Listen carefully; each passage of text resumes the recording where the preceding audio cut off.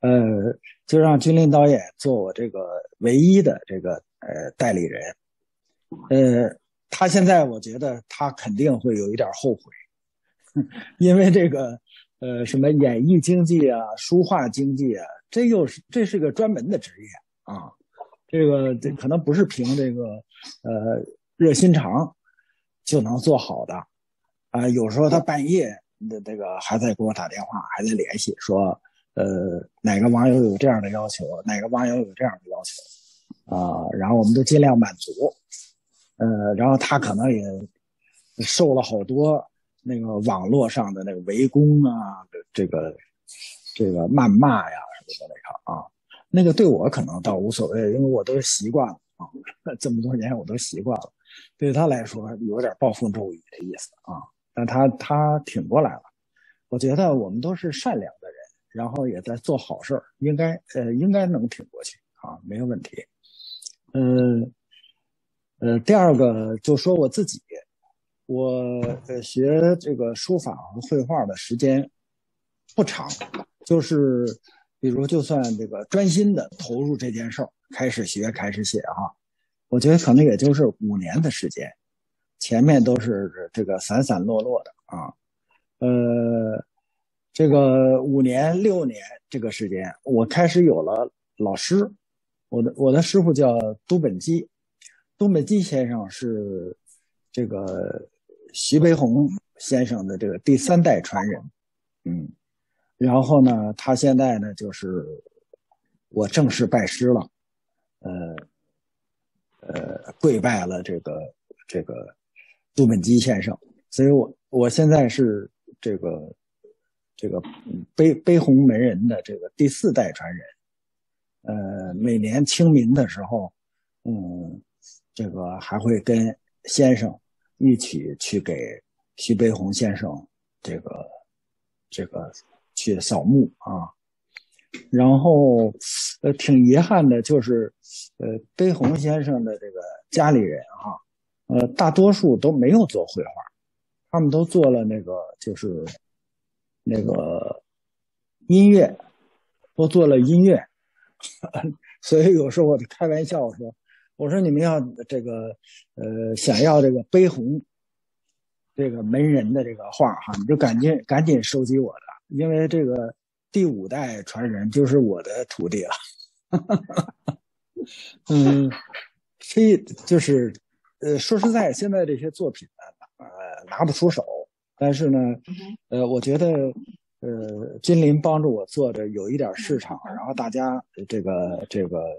呃，喜欢你的作品，嗯，他们这个在呃喜欢你作品的同时，还在监督你，呃，可能我估计都没有一个什么书法家或者画家像我这样，作品卖出去，呃，会被这个呃买家寄回来，寄回来说你忘了写什么字了。忘了盖什么章了啊，或者哪个字写错了啊？你再查一查。这个这个在在我这儿都是都是经常的事儿啊。嗯，我倒不怕露怯，因为这个这个实事求是嘛哈。那个现在目目前自己就就是这个水平。嗯，比如说这个金林前两天给我派了个任务，是一个网友让我写那个呃唐寅的这个。桃花庵，哎呀，都快写死我了！就是每天写到半夜，写写完了以后，第二天又推倒重来，又推倒重来。因为他这个书法呀，它有个基本的要求，就是你的这个字样啊不能重复。你比如说“桃花”两个字啊，你在这个书法里出现两遍，那要是两，那是两个桃，两个花，这可要了命了。这里面十几个桃花酒，全是这样的字：桃花坞里桃花庵，桃花庵里桃花仙，桃花仙人，呃，种桃树，又卖桃花换酒钱啊！你说这多少个桃花？每个桃和每个花都不能一样，这写的我非常苦。到这个呃，这个这个作品可能。人家付钱都付了大概，我记得至少得有十天了。我到现在都写不出来。我那天那天我还跟金林商量说，能不能跟那个朋友说，咱们把钱给人退了。实在这个写不出来啊，呃，就是每天就是写字和绘画，呃，现在每天就是睡觉，呃，吃饭、散步，然后就是写字，嗯，绘画，所有的这个呃精力就都放都放全都放在这上面，然后大家你大家可以看看哈，就是说呃你们收到的所有的字和所有的画都是在这个桌子上完成的。哎，好的。呃，这个桌子呢，平时我们也吃饭，就坐在这儿吃饭。吃完饭就赶紧把吃饭的东西拿走，就开始在这儿写字、画画。你看，嗯，啊，这有一枚章，我给大家看一下，就这个，啊，啊，你看这个章上面就是悲鸿门人。但是这个，呃，金林导演也知道，我很少盖这个章，就是如果这个作品写的我特别满意啊，我就会盖。一般情况下就是都不会盖啊。这是这个呃，昨天刚创作完的这个作品啊，就是这就是飞鸿先生画的那个鸡，就是他的那个照着他那个原样画的啊。呃，然后你看底下这些就全是写废的，这都是写废的。你看这些，这都是写废的。嗯，这每天都是一大摞一大摞这个写废的啊。嗯，我跟俊林也说，我说，呃，我们因为的我们的作品算不上好，也算不上这个专业。所以就允许这个买家，就允许我们这些朋友啊，呃，提各种各样的要求，呃，但是正好今天有这个机会，我跟大家说啊，我就希望这个要求提在前面，比如说你希望写上你的名字，希希望写上雅藏哈，这个最好就是一开始就告诉我，有的时候我是把这个都写完了，呃，印章全都盖好了，呃。呃，突然这个有买家朋友提出来说要再写这个，他没有地方了，呃，或者说他那个地方不对了，啊，他那个就他那个地方不对了，就会就，然后我就希望这个就是，呃，大家理解我和这个这个呃君临这段这对组合啊，呃，我现在呢还应该说准确的说还是个业余的。业余的这个绘画者和书法爱好者，起码水平是是，对这不管多么根正苗红哈，水平确实是业余的啊。呃，君临呢也是一个业余的这个呃书画经纪人啊，或者演艺经纪人，但是呢，好在我们俩是个好人。呃，我估计在前面接触的这些过程中哈。大家没有发现过我们两个人不讲理啊？呃，我们肯定是讲理的，呃呃，甚至我觉得，如果你把呃书法和这个画买回去，有一天看着不顺眼哈，你把它寄回来，我们把钱再退给大家都没有问题，这些全都没有问题啊。呃，我们是就是很真诚的对待对待每一个人啊。呃，金陵也说，说我经常会送，说呃，人订了一幅，我给人寄去两幅啊，人家订个大的，我给人这个赠个小的，为什么呢？我老觉得这个是不是就我这个作品是不是是不是就是呃这个让人家花花钱花多了呢啊？干脆再再写一幅给人家啊，或者再画一幅给人家啊，这个呃。以以量取胜呗，是吧？以以量赢得 赢得人心啊。呃，最累的，我觉得是是是这个呃君临，呃，因为他呢，就是说作为书画经济哈，他也应该拿走这个钱的很大一部分，但是他不要钱，他不要钱。我说你你不要钱，你你帮我干这个事儿是为什么呢？他说应该回报我一下，因为当时我请了这个国际上七个大牌的这个呃制片人、导演、编剧给他们上课啊。那个，哎，金莲，那批还真真的培养出几个人是吧？有啊，对，培养出现在都就是不光你，还有好几个都独立的拍电影了啊，他开始啊。就是那个扫黑风暴那个伍佰，现在很火了。那个伍佰，伍伍佰是吧？啊，伍佰，我记得是长春的，好像是啊。啊，特别火现在。嗯，对对对，啊，他当时也是咱们的那个那个，就是学员嘛，啊，对。对他开始拍的也也也是一般般的，现在好出来了。那 个扫黑扫黑风暴就他的嘛，扫黑风暴。啊，我还没看他他拍的是吧？嗯，还挺火的，孙红雷演的。对，对，这个挺好的。我觉得，呃，嗯，学习书法绘画就是一个，呃，是一个很好的养生，也是个交朋友的这个方式啊。嗯，然后我以前没有没对这个做太多的研究，那后来专业的跟跟这个先生去这个杜先生去学习了以后，就开始有了一个呃系统的研究。我还是比较喜欢像这个米芾啊、八大呀，就是还是喜欢他们的那种那种那种风格啊。呃，有一个很奇怪的，我呃我我觉得咱们今天开会的可能好多行家啊，嗯，我说的就是我说的就是这个呃外行，你们就不要笑话我啊。呃，在我这个学书法和绘画的过程中，我觉得有那么有有这么一个大的转变，就是有一天我忽然发现，我以前看着那个不好的字，实际上是非常漂亮的字。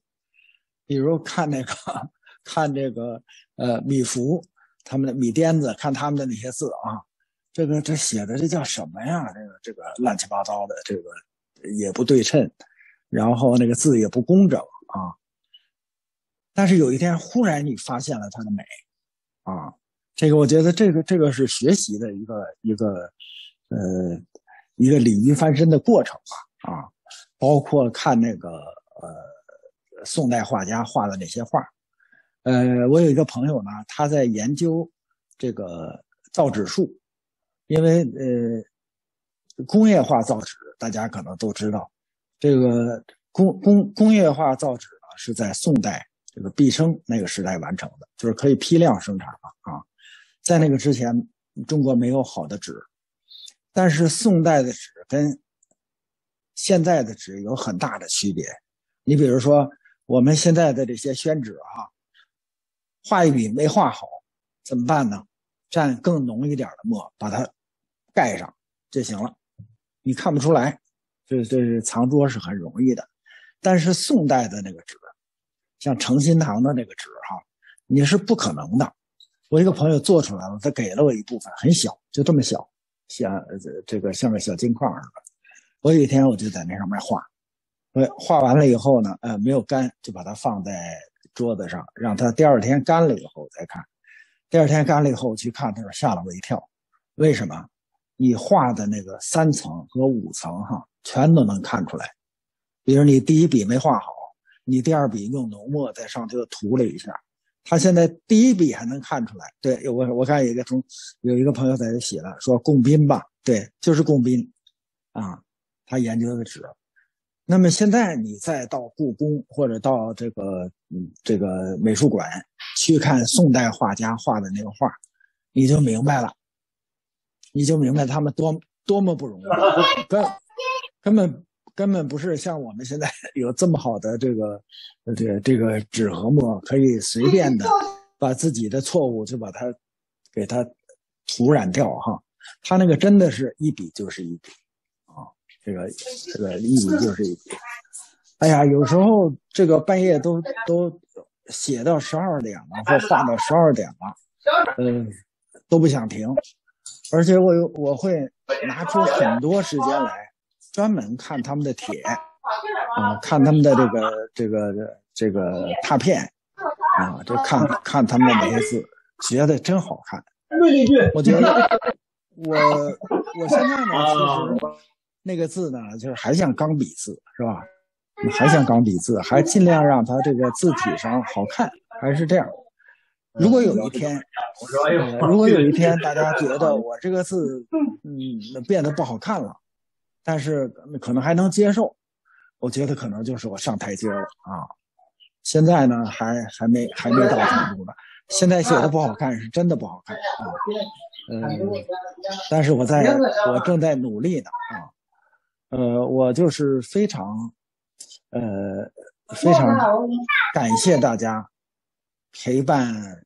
这个我的努力，感谢大家陪伴我和呃君临导演，陪伴我们一起成长。虽然我们有一把岁数了啊，但是我就说这个，我我特别感谢这大家，就是陪伴陪伴我成长。呃，在这件事情上啊，在这个。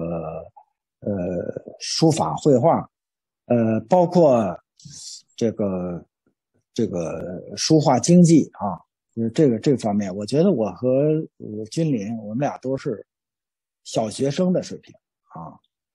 呃，也希望这个大家呃能看到我们进步啊，呃，能能能看到我们成长啊。我就说这么多吧。啊，然后大家有什么这个问题，可以就可以问我，可以问呃金林导演啊，更严重的问题咨询张律师都可以。那个 在右下角框里提问题，刚才呃按照顺序来。永观海源说，呃，这是个老老粉丝了，永观海源，他问我最近身体怎么样？这个我身体怎么样？这个问题也好，是我。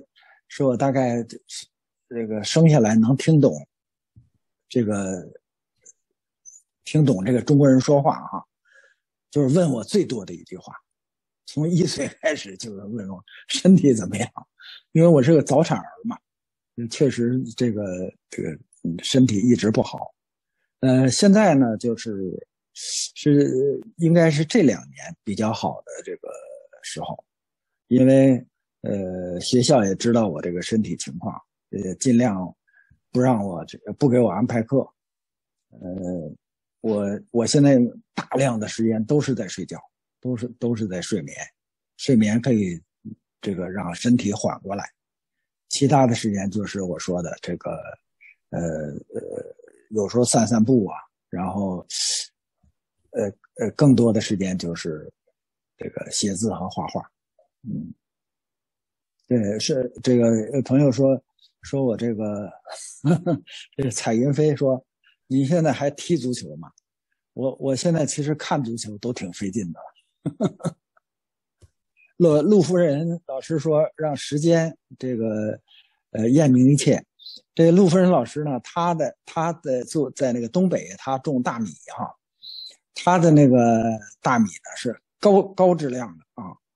然后呢，他本来想让我代言，我说这个有点难，这个代言这个这个大米有点难，因为他他可能今年今年没问题，可能明年就出问题了，因为他都不一定是种植人，就是他自己出的问题，因为你你买来的这个这个稻种啊什么的，就是他需要就是粮食安全这个保证的太多，需要的太多。呃，所以我没答应给他做这个这个代言，但是我我很支持他。我觉得就是这个这个陆夫人，就她非常有魅力。这个人就是他他，我觉得我们俩性格有点像。他就是那个钻牛角尖的那种。我要做好的东北大米，他就是他有这个念头哈，他就全身心的投入啊。他说你提什么要求，我们都把它做到啊啊。这这是另一个话题啊！我刚才看到陆主任，我想起来了啊。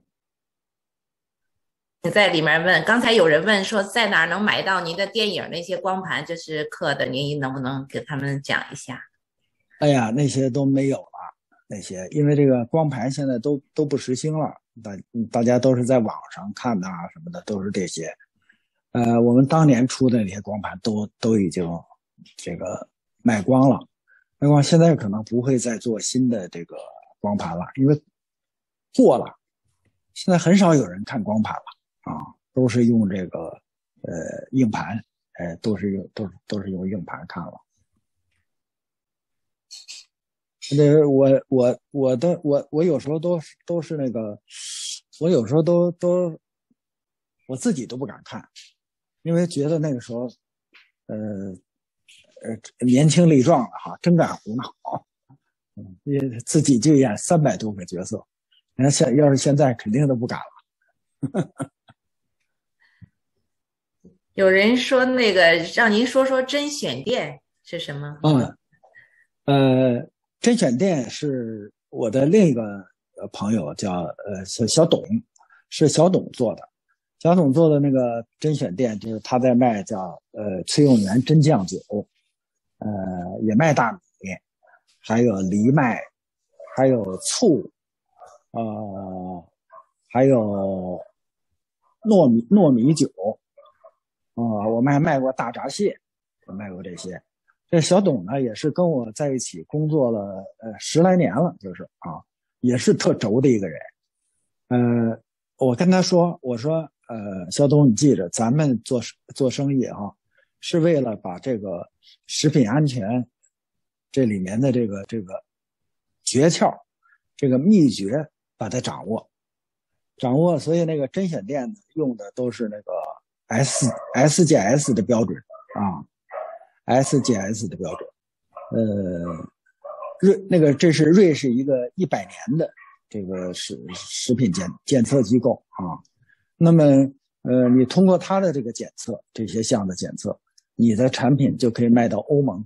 大家都知道，这个欧盟是是全世界这个最严的，对对这个食食食品质量监督是最严的。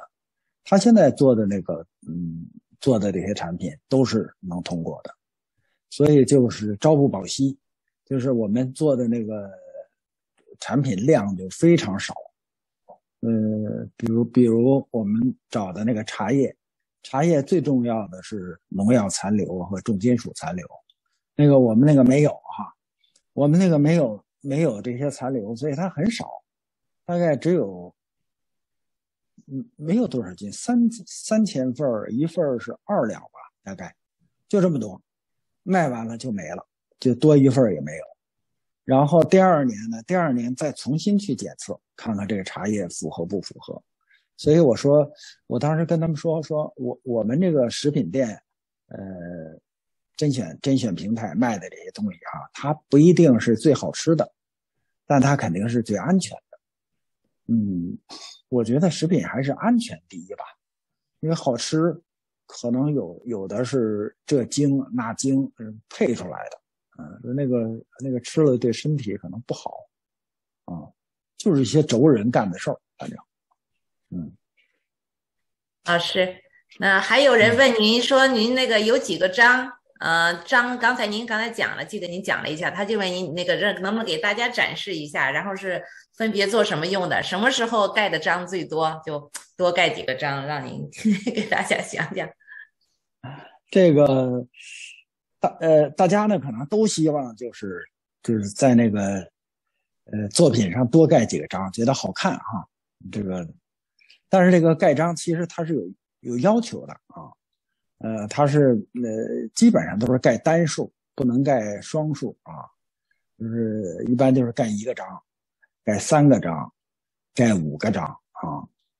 然后这个人名章啊，我我大概知道盖在什么地方。啊，还有一个闲章，呃呃，第一枚闲章我知道盖在什么地方。其他的章呢，我都不知道盖在什么地方，因为我老师还没教我这个呢，还没教我这个呢。所以我每次盖章的时候就很头疼。我知道他们说多盖几个章好看哈，但是我又觉得可能这个这个字写完了盖盖完了以后，人家到你们家说这是谁写的字啊？说这是邱永元写的字，这章怎么盖的乱七八糟的？就有这样，章倒是不少，太多了章啊，章可能有有上百个章啊，但是就是盖实在是不知道这个。盖在哪儿啊！你们要是不在乎啊，你们、你、你们要是不在乎，你们就提前跟跟那个李金林导演说，说我不在乎这个章盖在什么地方，你让他给我盖八个章，我就给你盖八个章。但是这个这个这里边确实是有这个书画盖章，这确实是有个学问。我我也可以呃在网上看看，或者我买买一本书啊，学习学习。这个章都应该怎么盖，都盖在什么地方什么的啊？我章倒是特别多，就是不敢瞎盖啊。我一般的最多就盖三个章。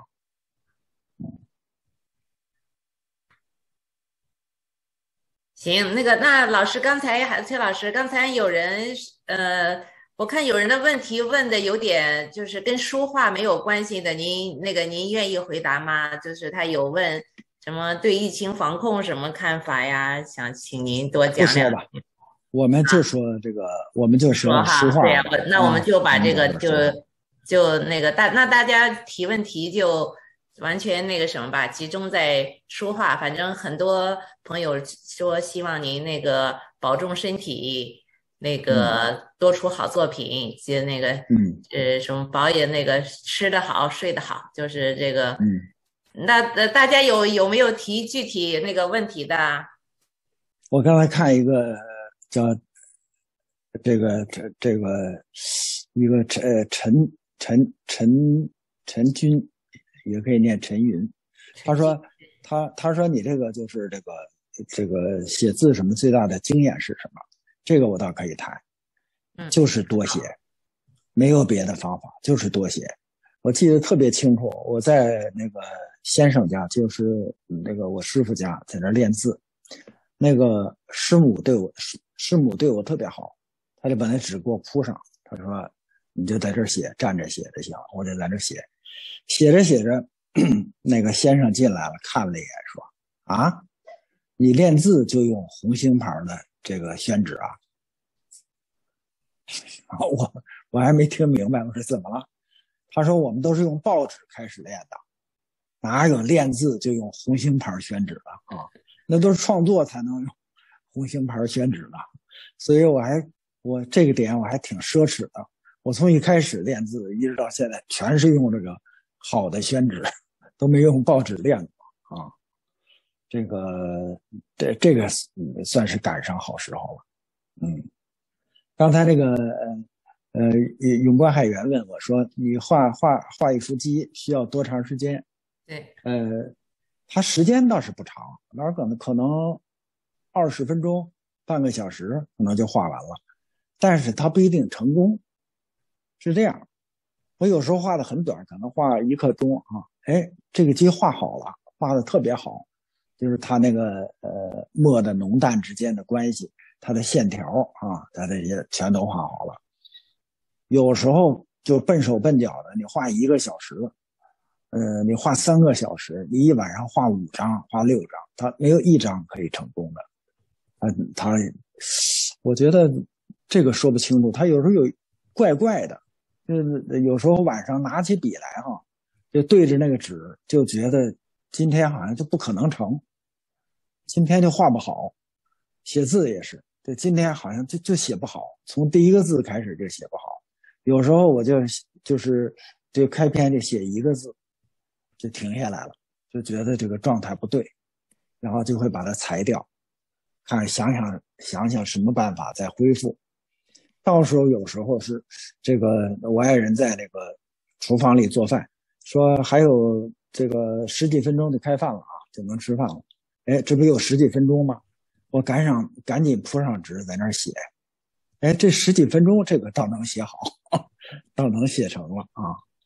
他真的需要很多运气，可能这就是我们这个，这就是我们这个。这个业余进入专业一个必须要要走的要走的路吧，这个过程，我看我看，因为我认识太多的这个大画家、大书法家了，我看他们写的时候，那个真那真是胸有成竹啊！拿起来就是他们调墨，就可以把这个用水和墨就可以把它调的非常好，非常舒服。写起来以后呢，阴的时候我们在旁边去帮助他们去吸墨，然后呢。他就是他很自如，呃，我写的不好的时候，就是我就觉得这个墨特别干，要不就会觉得这墨特别稀，要不就会觉得这个笔和纸面的这个关系好像没没协调好，他们麻麻的，就是这个这个笔在上面不顺滑。好的时候，哎，那个笔在上面走的就就就很舒服，这种这种感觉就是很难碰到，就是很难碰到。啊，这个有一个朋友说想问我们家那几个毛孩子的情况，我知道啊，呃，我养了这个四个猫，啊，这四个猫现在情况很严峻，因为他们分成了两波。因为是两个公的，两个母的，他们分成了两波，他们现在都都不能相见了，他们一见面就呲牙咧嘴的就要打啊，所以他们是给他们分在两个区域里，呃，那个两个母的在一个区域，两个公的在一个区域，嗯，特别好玩。他们，我觉得他们跟人一样，他们什么都知道，什么都懂。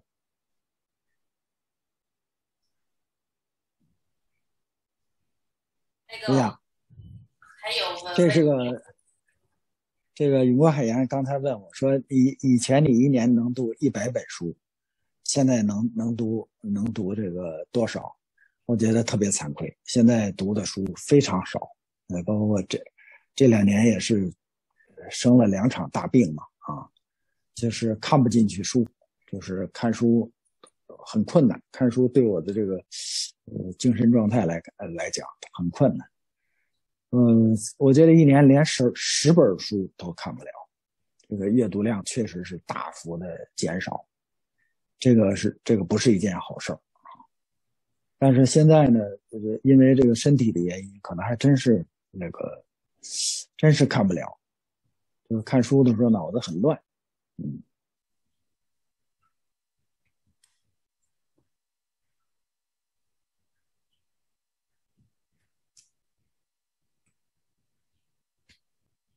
多出来旅游啊，多出来旅游，这个，这个，这个，现在这个还是这个疫疫情后疫情时代嘛，那旅游很难，旅游非常难。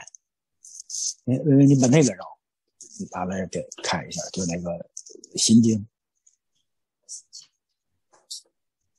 还有人让让您分享一些书法入门的学习资料。比如书啊、纪录片什么的，嗯，我我想让大家看一个这个啊，这是我太太这个这个呃手机的后面，这是我一个朋友的作作品《心经》，你看多漂亮。这个是这个是我们绝对写不了的，只能欣赏的。这么小，他每天写一幅，他每天他每天都。都写一幅，这是这是送给我们的，可以放，你看可以放在这个这个手机后面。这个不行，我觉得君临，你把他的也给代理了吧，他的可能更受欢迎。这这真是高水平，真的。他是呃，我也认识他好几年了，他是做那个皮鞋设计的，呃，手特别巧，皮鞋设计的。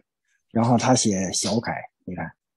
对对，我们都不可能写这么小的字，写不好。呃，这民间高手，高手如云。我们可能就沾了一点这个，呃，沾了一点过去比较有有有名气啊，呃，是是个公众人物，可能占占了这个便宜，大家就爱屋及乌，所以就就喜欢收藏我们画的一个公鸡啊，写的写的一些字啊，呃，水平有。有多高，有有多低，这个我们自己心里是有数的，啊，这个请大家放心，我们心里是有数的，嗯，我们知道自己几斤几两，嗯。有那个有一个，请您分享一些书法入门的学习资源，比如书啊、纪录片什么的。还有人问你，绘画是用笔的角度和用腕力的掌握技巧，两个问题一块跟您说。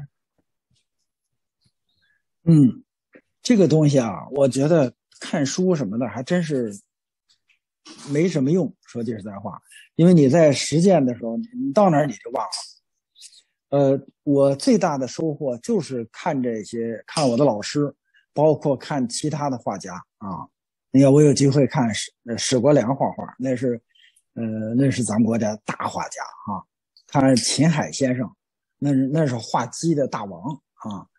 我他们画的时候，我就站在他们旁边，看他们怎么调墨，怎么下笔什么的。然后，而且呢，啊，还有范阳，范阳先生。然后呢，我有一个什么好呃好好处呢？他们一边画，我可以一边提问，甚至我拿一张纸在他们旁边，在那儿找这样的感觉，这个特别呃，这个。呃，这个帮助特别大。呃，你要看那个盘什么的也有，我看那个中国呃书协的那个主席孙晓云女士，在网上好像都有她的视频，是教这个书法的。啊，那是中国书协的主呃主席。那有些就是呃呃，现在还有一些那那种就是比较。各色的比较自由的啊，连吼带喊，用用针管用什么拖布什么的啊，就是那个那个那个，我觉得可能不要轻易的呃接触啊，因为就是这个呃一个人和这个笔和墨和水的这种关系关系啊，他真的还要达到这个水乳交融，真是还要达到这么个境界。啊，你能驾驭它，啊，它是你身体的一部分，这可能这时候还真才有可能这个这个写好字啊。呃，这个握笔呢，呃，大家也提出来过，是吧？比如说，呃，过去我们学学毛笔字的时候就这么写。后来我师傅教我说，其实你不必拘束，你写字的时候你可以这样写，其实你也可以这样写啊，用一个你你你舒服的方式写。现在。呃，这个好像大家现在不是特别在意了。我看很多大书法家也是这样写，他也是这样写。你关键是你能完成这个笔上下左右啊捻呐拖呀，你能把这些动作能完成，那可能就是一个舒服的这个这个握笔的姿势。嗯。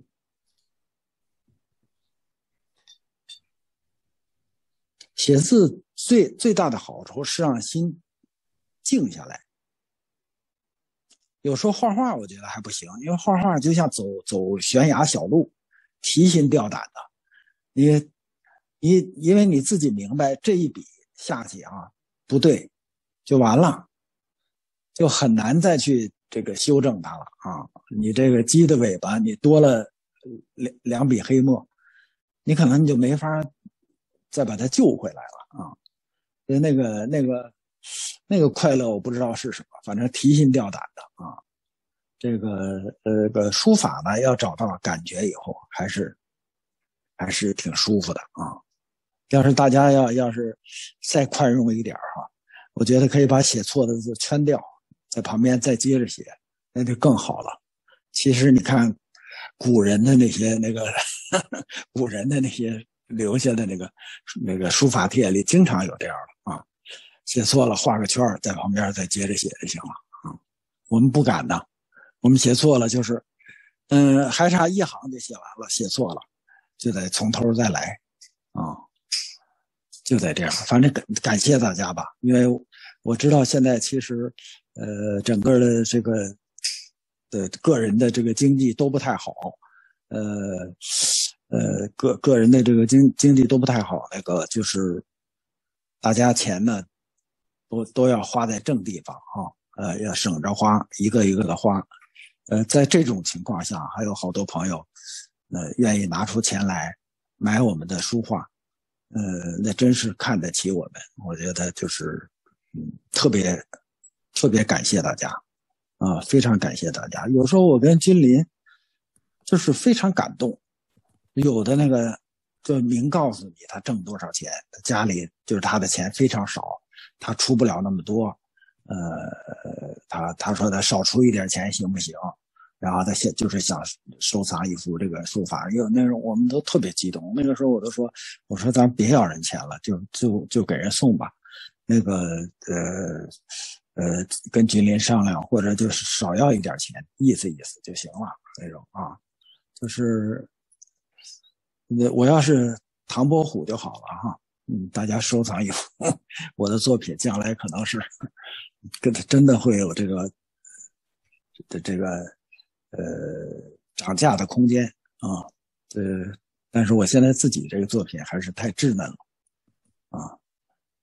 那呃这样吧，将来我写的好了，你觉得行，就把以前买的那个那个旧的那个不好的拿来换新的就行了，以旧换新，咱们像卖手机一样。来个以旧换新，真的？那我我那我我这我这那个我一看见就喜欢上您的那个字画了。我觉得您的那个有天赋，真的是有天赋，而且是心里可能是有情怀吧。所以您的字如其人，所以您您的这个字画有您的特点，像那个公鸡。您跟大家讲讲您为什么画鸡呀？哎，那么爱画鸡呀？